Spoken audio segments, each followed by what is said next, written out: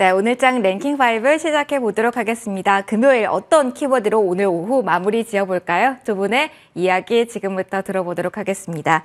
오늘 비전경제연구소 김태성 이사, 차영주 MTN 전문위원 두 분과 함께 할게요. 어서 오십시오. 네, 안녕하세요. 안녕하세요. 네, 3월 딱 마지막 거래일입니다. 3월 31일인데요. 자, 어떤 이야기부터 시작을 해볼까요? 오늘 강하게 꿈틀거리는 쪽, 그렇기 때문에 수급 이상의 의미를 좀 찾아보려고 합니다. 자, 일단 오비 열어보도록 할게요. 사실 오를 만큼 올랐다라고 이야기는 물론 어, 충분하지 않겠죠. 자, 어떤 기준을 잡고 이 섹터 봐야 되는지 일단 시작을 해보도록 하겠습니다. 먼저 김태성 이사님께 질문을 드릴게요.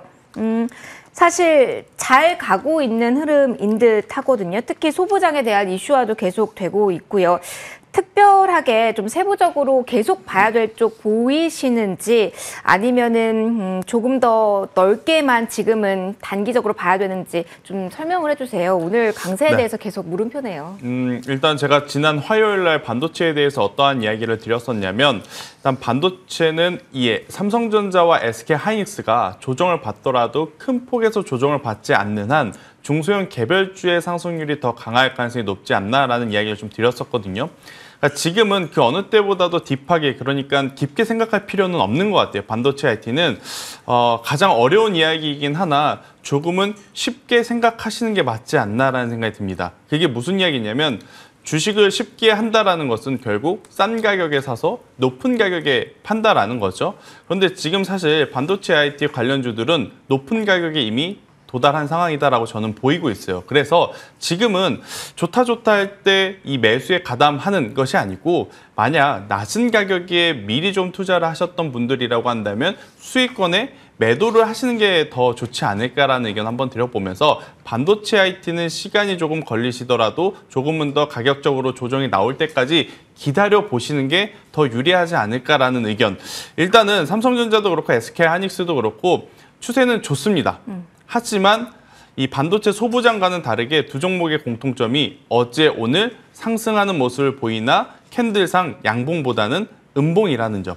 그러니까 이 반도체 IT를 강하게 밀어 올릴 만한 대량 거래량 혹은 대량 수급은 아직까지는 이 고민을 좀 많이 하고 있다라고 좀 보시면 될 것 같아요. 그렇기 때문에 그 하이단에 있는 중소형 개별주 안에서 뉴스라든지 개별 재료가 있는 뭐 DB 하이텍 같은 이러한 기업들이 어, 상대적으로 더 강한 퍼포먼스를 보이는데 오늘 갭상승 이후에 어, 조금은 단기적으로 가파르게 올라왔기에 저는 현재 구간에서 공격적인 투자를 하시는 것보다는 어, 조금은 더 기다려 보자라는 의견. 왜냐?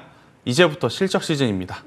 여러분들도 아시다시피 반도체는 실적이 조금은 암울할 가능성이 높아요. 그렇기 때문에 주가가 미리 선반영 받아서 조정을 받았다가 최근에 올라온 것이기 때문에 실적 발표 이후에 다시 트레이딩의 전략을 짜셔도 저는 늦지 않는다라는 의견 드려보도록 하겠습니다. 앞서 DB 하이텍 언급을 해주셔서요, 이사님. 요것도 좀 짚고 갈게요. DB 하이텍에 지금 만들어지고 있는 이슈, 그리고 시세, 이게 반도체 섹터에 의미하는 바도 있을지, 그리고 보유자분들은 이걸 마냥 긍정적인 시그널로 보고 즐기면 되는 건지 좀 질문을 드려보고 싶어요. 일단은 어뭐 펀드 지분에 이제 자금이 강하게 들어오면서 최근에 이 DB하이텍이 좋은 뉴스도 함께 어, 같이 나오며 굉장히 폭발적으로 또 상승을 하고 있는데 지금 여러분들이 느끼시는 바와 같이 사실 DB하이텍만의 재료로서 보셔야 되지 않을까라는 생각이 듭니다. 이 재료 자체가 뭐 반도체 IT의 전체적인 뭐 강한 힘을 계속 유지시킬 수 있다? 그것은 저는 어렵다라는 생각이 들어요. 그렇기 때문에 DB 하이텍만의 저는 재료로 어, 해석을 하시는 것이 좋을 것 같고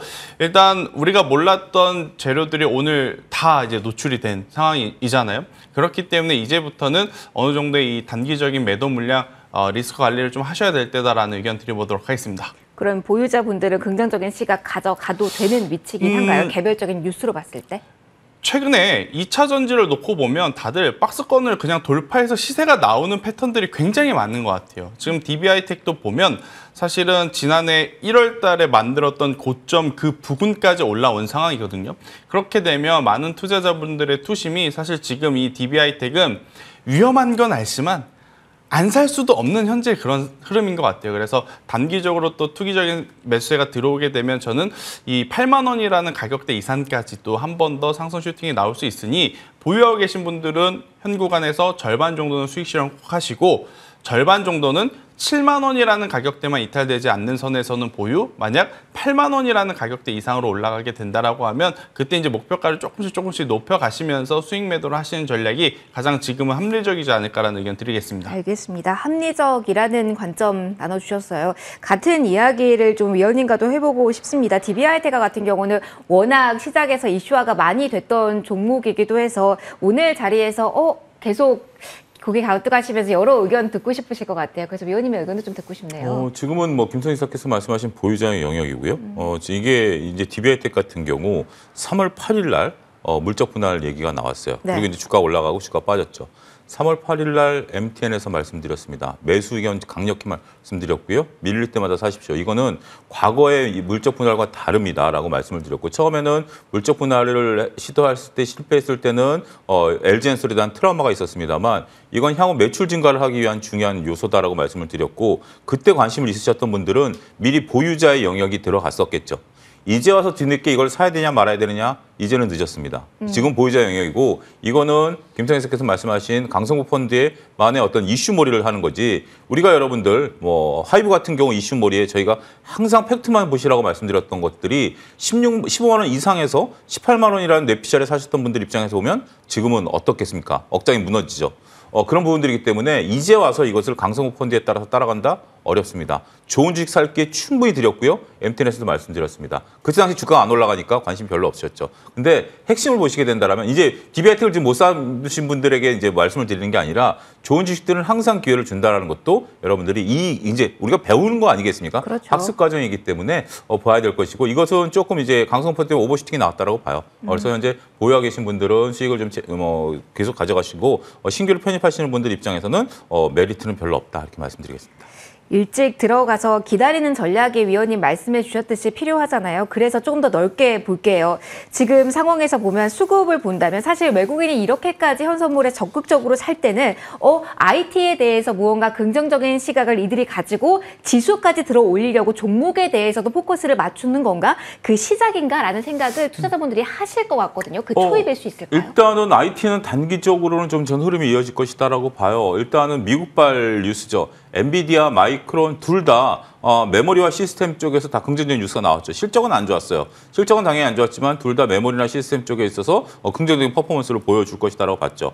특히 삼성전자가 이제 6만 원 깨지는 우려는 이제 사라졌죠. 현재로서는 삼성전자가 버텨지고 있는 상황이다라고 본다라면 오늘 저는 삼성전자보다 SK하이닉스가 더 매력적으로 보입니다. 왜냐하면 삼성전자 같은 경우 아직 메모리 재고가 있는 상황이지만 삼성전자는 GPU에 대한 어떤 아니 그러니까 SK하이닉스는 GPU에 대한 어떤 기대감 이런 것들이 좀 상전에 있기 때문에 어 지금은 삼성전자가 플러스가 나니까 뭐 흥분도는 높아지겠죠. 하지만 SK하이닉스가 마이너스일 때 오히려 저는 접근 방법을 저는 저라면 택하겠다 이렇게 말씀드리겠습니다. trading 가능하다라고 말씀 주신 적 있잖아요. 그러면은 대형주를 당분간 봐야 되는 건지 아니면은 이건 반짝 더욱더 탄력성을 그 짧은 기간에 기대한다면 조금 더 작은 종목을 봐야 되는 건지 그거 하나만 어, 저는 주신다면요. 4월 들어서는 이 분위기가 좀 바뀔 가능성을 좀 봐요. 왜냐하면 어, 김선생님께서 말씀하신 이제 실적 시즌이 도래하거든요. 4월 7일 날 당장 이제 삼성전자 잠정 실적부터 시작해서 어, 실적 시즌이 들어오면 4월 중순부터는 어, 이런 것들이 드러나겠죠. 지금같이 실적이 잘 나오리다고 기대는 대부분 다 안 하잖아요.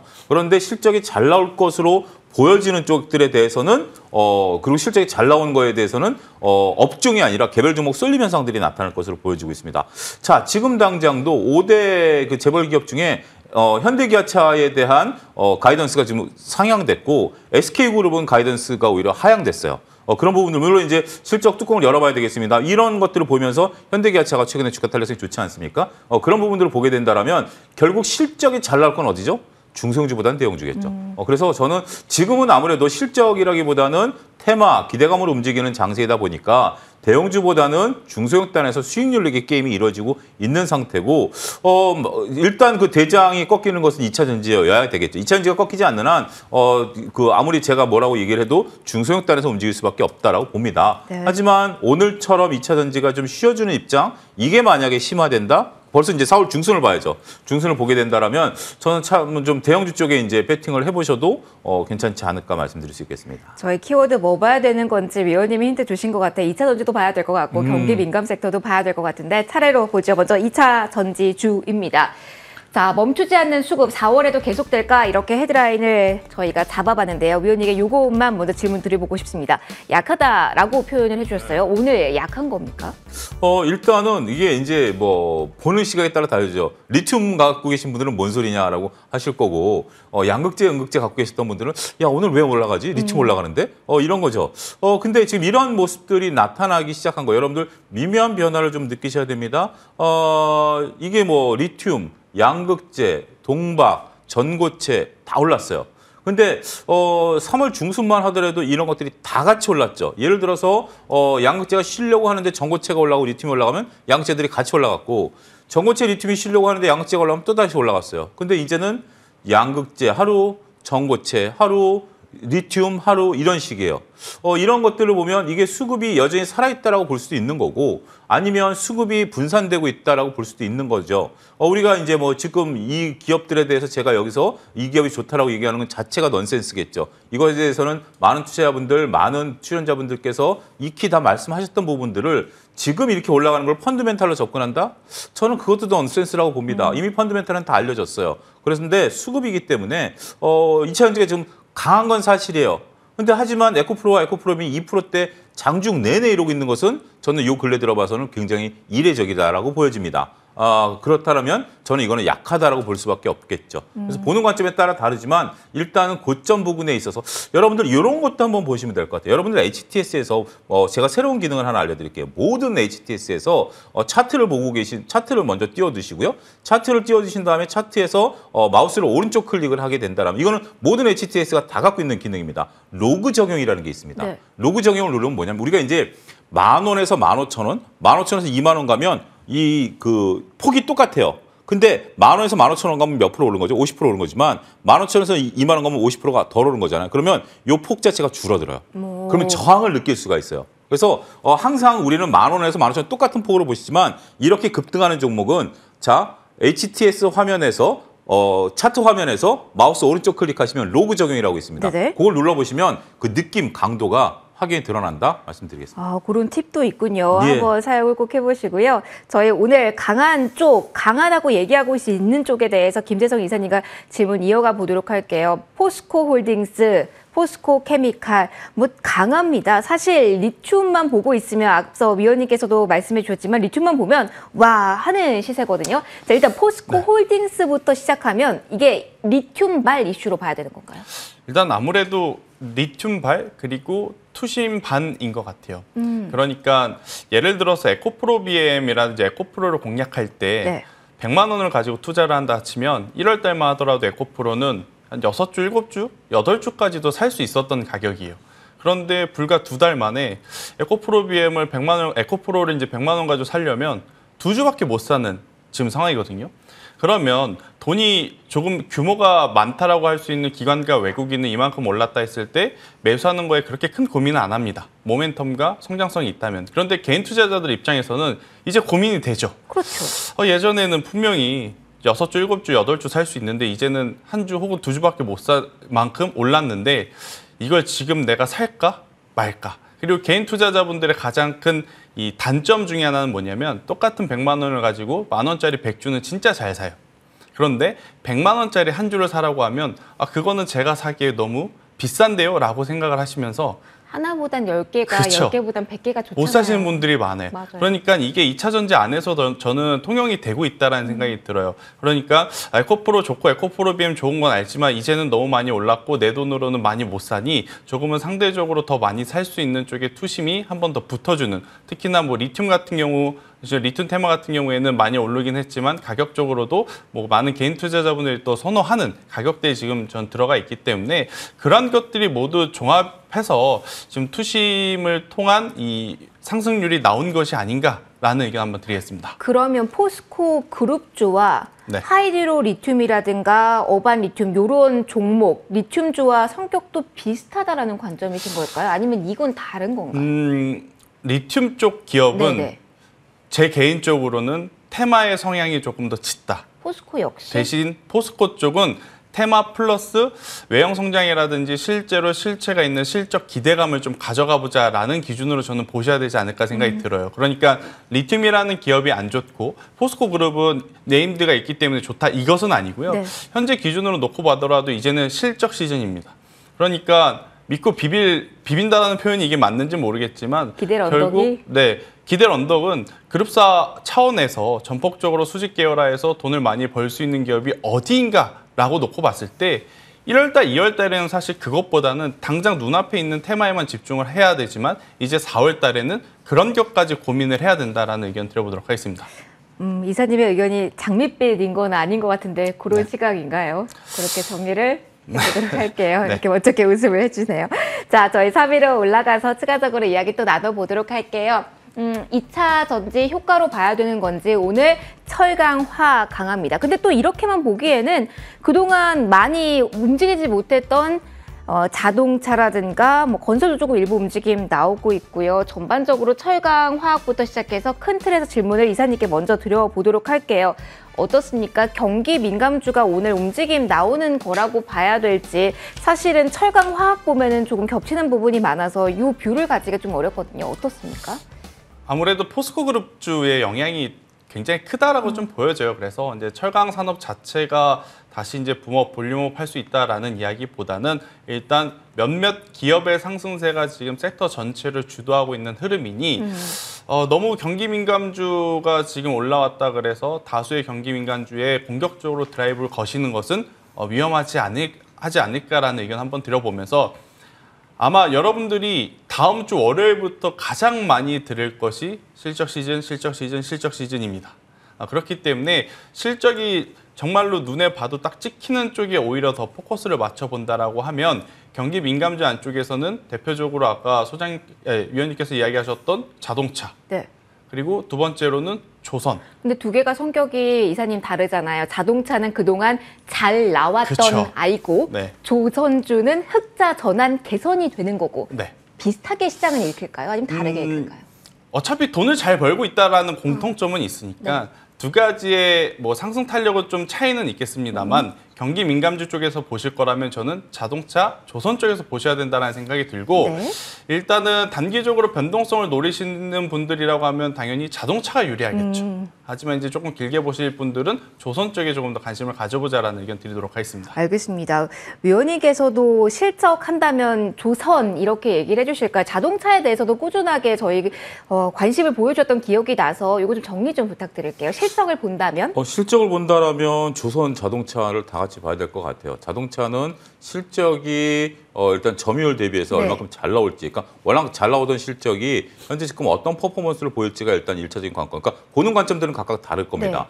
어, 자동차 같은 경우 계속해서 이제 뭐 전기차에 대한 점유율 어, 이런 것들에 따라 주가 움직이겠죠. 여러 가지 복합적인 요소가 있죠. 일단 어, 정리해드리면 일단 실적이 어떻게 찍히느냐. 두 번째는 전기차의 점유율, 전체적인 판매량에 대한 증가율, 요걸 봐야 되겠고 일단 조선 같은 경우 흑자 전환이 가장 관건이에요. 네. 아무리 수주 잔고가 더 쌓이고 앞으로 수주가 기대된다. 지금 그 뉴스에 반응하는 게 아닙니다. 흑자 전환 하나만 봅니다. 자, 철강 화학 섹터는 지금 현재 조금 어, 쉽지 않을 것 같아요. 특히 이번에 우리가 이제 그 상반기 때 벌써 이제 3월이 지나가지고 2분 2분기까지 가장 크게 중국과 수출이 안 된 게 석유화학 제품이에요. 화학 제품이었습니다. 이런 부분들을 보게 된다면 이쪽은 별로 실적이 잘 안 나올 것 같아요. 그래서 결국 유가에 따라서 이런 것들이 가격이 우- 이제 주가가 움직이긴 하지만 이거는 탄력성이 점점 떨어질 것 같아요. 어, 그런 부분들을 여러분들이 경기 민감주에 대해서는 좀 바라봐야 되는 어, 포인트를 찍어서 말씀드리도록 하겠습니다. 알겠습니다. 실적 시즌 앞두고 있어서 거기에 포커스 맞춰서 조언 얻어봤습니다. 저희 올라가도록 할게요. 계속해서 2위 볼 건데요. 오랜만에 이 키워드 보는 것 같습니다.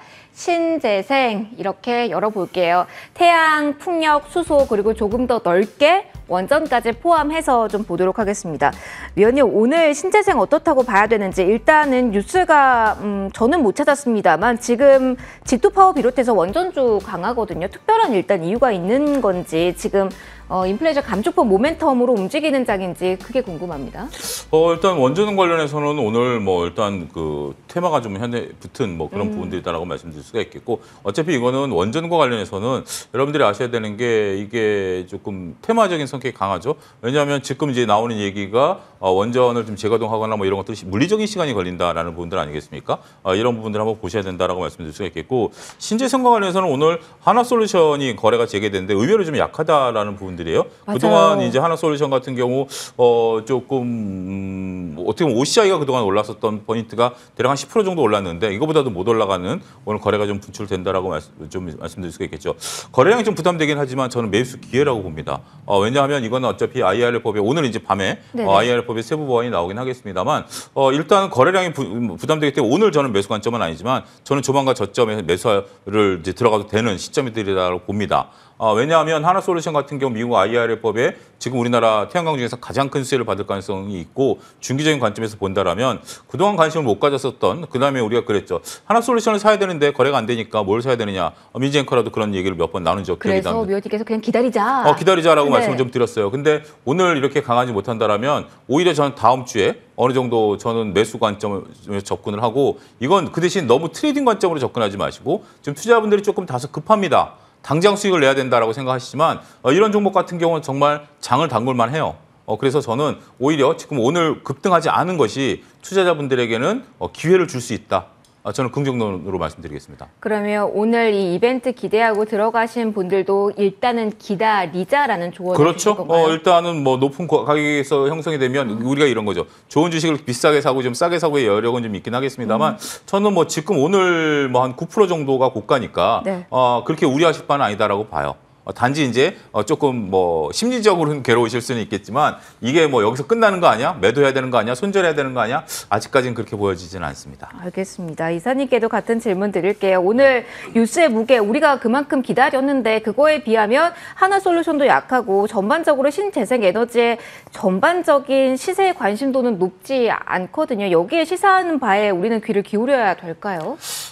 지금은 투자자분들의 참을성이 조금은 짧을 수밖에 없는 기간이 아닐까라는 생각이 들어요. 왜냐하면 그러니- 옛날엔 인내가 길다고 했는데 요즘은 그렇죠. 모르겠어요. 어, 일단 지금은 내가 매수를 했는데 좀 기다려봤을 때 당장 시세가 안 나오면 또 매도를 하고 종목을 교체하는 굉장히 빠른 순환매 장세이다 보니까 아무래도 이제 하나 솔루션을 좀 많이 기다렸을 것 같아요. 저도 기다렸고 아, 미국에서는 태양광, 유럽에서는 풍력에 대한 이야기가 계속 나오면서 오늘 이 하나 솔루션이 굉장히 강할 것으로 기대했던 많은 투자자분들 계셨을 겁니다. 그런데 막상 트레이딩을 했는데 계속해서 거래량이 안 들어오네. 그러다 보니까 여기서 이제 매도 혹은 다른 이 신재생 에너지 쪽으로 빠르게 좀 이동을 하는 것 같아요.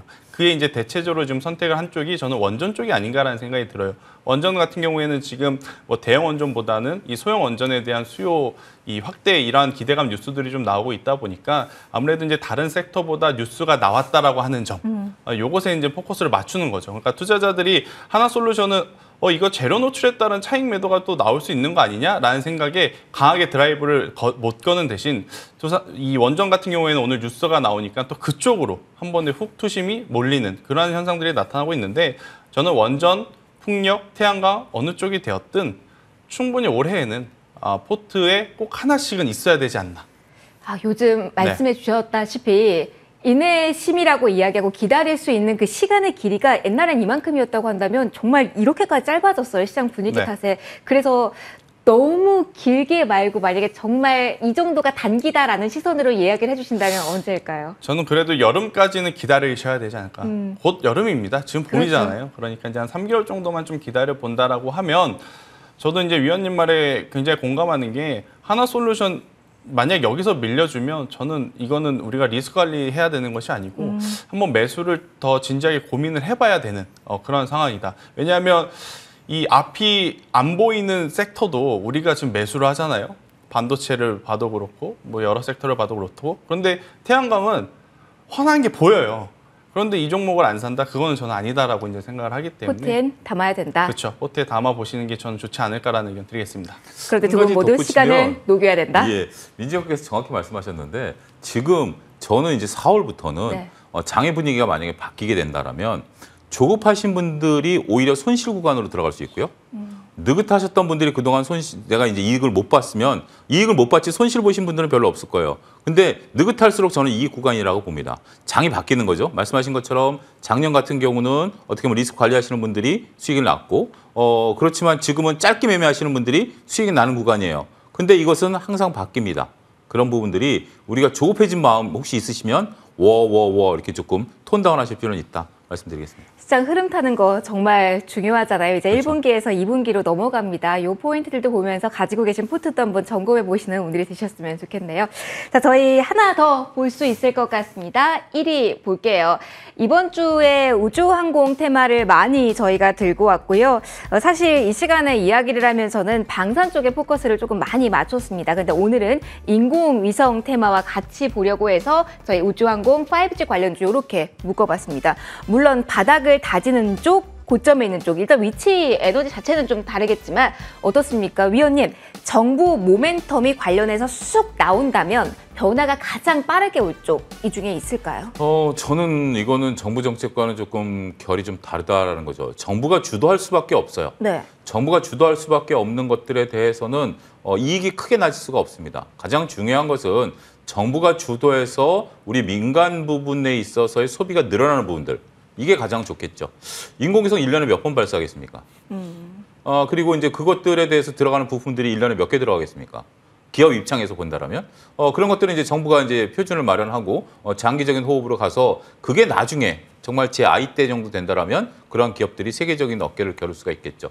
지금 이제 미국발 모멘텀 얘기하시는 분들이 있어요. 미국 같은 경우는 우리랑 환경이 좀 다르죠. 그리고 이제 스페이스X라든지 이런 것들이 벌써 어, 수백 개의 위성을 발사해 놓고 규모의 경제를 달성할 수 있는 부분들이 있는데 한 가지 안타까운 여러분들이 보셔야 될 게 뭐냐면 스페이스X 밑에 단에 있는 기업 제가 이름이 기억이 안 나지만 한 300개 정도 위성을 발사한 기업이 파산 지금 얘기가 나와요. 위성을 300개 발사하고 났는데 지금 신호 효과가 안 나타나는 거예요. 그러니까 어, 결국 파산이 나타나는 거죠. 위성을 발사하면 뭐합니까? 이익을 못 내는데. 어, 뭐, 그런 부분들을 좀 감안하시면 이쪽은 조금 냉정해져야 된다. 김태현 이사께서 말씀하신 것처럼 우리가 깊은 터널 앞에 있는 것도 매수하는데, 어, 그런 것처럼 어, 주식이 현재 지금 그 어떻게 보면 여기서 약간 여러분들이 focusing을 잘 하셔야 될 것 같아요. 이거는 가볍고 시총이 천억 미만이고, 그 다음에 꿈을 먹고 사는 거잖아요. 그리고 어떻게 보면 좀 새로울 수도 있죠. 우리 미래 먹거리라는 거. 여기에 매수를 하시지만 결국 이거는 테마일 수밖에 없고 그렇지만 우리가 다 아는 거고 좀 구경제고 지루하다 주가가 안 올라가니까 이거보다는 이쪽이 더 빠르겠거니 근데 여기서 잠깐 흔들리시게 되면 어, 조금 조시, 우려스러울 수도 있다. 저는 우주항공이야말로 지금 아직까지 손에 잡힐 때까지 우리 자 자율주행 얘기 나온 지 얼마 됐습니까? 이것도 꽤 오래되긴 했어요 한 사실. 사, 늦은 뭐뭐한 3년 길게는 한 5년 자율주행 언제 나올지도 모른다라는 거 아니고 일부 어, 기업에서는 자율주행 부서를 폐지한 데도 있어요. 폭스바겐은 포기했어요. 자율주행 부서를 없앴어요. 어, 이런 것들도 여러분들이 뉴스를 한번 좀 천천히 보실 필요가 있지 않을까 싶습니다. 알겠습니다. 오늘 그래도 관련 정책에 돈을 투자한다 민간 발사체 이야기가 나와서 질문 좀 드렸는데 아직은 조금 갈 길이 멀다라는 표였어요. 이사님의 의견도 좀 짧게 들어볼게요. 네. 갈 길이 멀면 주가도 갈 길이 이런 모멘텀을 안고 가긴 뭘까요?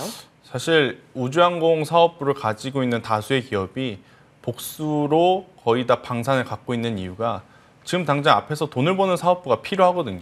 돈을 벌어야 R&D 쪽에 투자를 하고 새로운 신선함에도 이제 투자를 하는데 돈을 벌지 못하면 결국 적자가 나고 적자가 지속이 되면 또 감사 보고서에 대한 부담도 생기고 그 기준으로 본다라고 하면 저는 위성 쪽만 보기에는 조금은 이제 약하지 않을까라는 생각이 들고 5G는 배신을 너무 많이 당한 것 같아요. 저 지금 아마 작- 저도 개인적으로 작년에 벌써 한 세 번 당한 것 같고 올 초에도 벌써 한 번쯤 당한 것 같은데 그래도 이번에 만약 다시 올라오게 된다면 종목별로는 좀 다르겠으나 그래도 상대적으로는 5G가 더 유리하지 않을까 이렇게 한번 말씀드리겠습니다. 5G에 관해서도 팁 주신 것 같아요. 위- 어, 이사님 올라올 때 조금 더 안정적인 시세를 볼 때 보자 이렇게 좀 정리를 저희 받아봤습니다. 저희 원픽도 볼 거고요. AS도 받아보도록 하겠습니다. 이사님과 먼저 AS와 함께 원픽 들어보려고 하는데요. 저희 이전에 주신 종목 가운데 화신 좀 살펴볼게요. 최고가 기준 목표가 달성했는데 오늘 쉬어가긴 하지만 모빌리티 쇼 모멘텀이 있어서 자동차 부품 쪽 보시는 분 많을 것 같아서 AS도 짧게 받고 그리고 저희 네. 원픽 들어볼게요. 일단 만약 가지고 계신 분들이라고 한다면 현재 구간에서 절반은 꼭 수익 실현하셔야 될 것 같고 또 이제 모빌리티라고 하는 이벤트가 있는데 그것 때문에 한번 갭상승이라든지 강한 상승이 나오면 그땐 뒤도 돌아보지 말고 새로운 뉴스를 새로운 뉴스라 생각을 하고 저는 정리를 하시는 게 맞지 않나라는 의견 한번 드려보면서요. 네. 또 화신 같은 경우에는 아마 이 자동차 부품주로서 중장기적으로 굉장히 좋은 관심을 받겠습니다만 이제는 단기적으로 시세가 나올 부분은 저는 많이 나왔다라고 판단 한번 드리도록 하겠습니다. 그리고 오늘 제가 준비한 종목은 뭐 지난 화요일 날 한번 말씀드렸던 종목 다시 가지고 나왔는데 조선 기자재 쪽. 네. 그러니까 지난 이번 주 초에 조선주들이 한번 움직이고 나서 참 엉덩이가 무거워요. 한번 그렇게 강한 상승이 나왔는데 추가적으로 상승하지 않고 수요일, 목요일, 금요일, 오늘까지 또 3거래 좀 쉬고 있는 모습이라 새로운 종목을 드리기보다는 우선 조선 기자재 쪽에 저는 관심을 가져보자라는 생각에 동성 화인텍 오늘 구간, 현재 구간도 괜찮다라는 의견 한 번 더 드려보면서 만 원이라는 가격대가 이탈되기 전까지는 충분히 보유를 하시고 이 구간에서 올라오게 된다면 12,000원, 13,000원, 14,000원 이렇게 목표가를 조금씩 조금씩 상향해 가면서 매도를 하시는 전략이 가장 좋지 않을까라는 의견 드려보도록 하겠습니다. 그러면 손절가 만 원으로 저희 똑같이 네. 체크하면 될까요? 알겠습니다. 동성 화이트 다시 한번 받아봤고요. 위원님의 원픽도 들어보도록 하겠습니다. 요 에이스도 같이 받아볼게요. 저희 덴티움 같은 경우 지금 소비 관련해서 관련 된 코멘트 짧게 들어보고요. 어떤 종목인지까지 소개 받아볼게요. 어, 예, 덴티움에 대해서도 보유하고 계신 분들 입장에서 본다면 저는 한 3분의 2 정도 매도 의견을 드리겠습니다. 네. 이틀 동안 급등을 했기 때문에 어, 그렇다고 해서 오늘 윗골을 다는 건 아니기 때문에 한 3분의 1 정도는 그냥 조금 눈을 감고 가져가 보시고요. 3분의 2는 그냥 수익을 과감하게 챙- 챙기시는 것도 저는 좋지 않을까 좀 말씀드리도록 하겠습니다. 이틀 동안의 봉액기가 좀 너무 부담이 되네요. 어, 종목은 저도 김선생랑 똑같습니다. 그, 저도 그날 삼성중공업을 했었던 분 했는데. 어, 예, 저도 삼성중공업을 좀 보도록 하겠습니다. 오늘 이제 본 섹터 중에서는 가장 좋고요. 어, 좀 저점을 좀 높여가는 모습이 점점 더 어, 차트를 좀 매력적으로 만들어가고 있다라고 말씀드릴 수가 있겠습니다. 동일하게 목표가 6,000원, 손절 라인 어, 4,800원 유지하도록 하겠습니다. 두 분 모두 이번 주 주셨던 종목을 다시 주신 거 보니까 정말 이제는 한 종목을 보면서 좀 기다림의 시간을 좀 느긋하게 가져야 되는 그 시기가 온 게 아닌가 싶습니다. 자, 오늘 장 랭킹 5 마무리 짓도록 할게요. 지금까지 차용자 MTN 전문위원 비전경제연구소 김태성 이사 두 분과 함께 의견 들어봤습니다. 두 분 고맙습니다.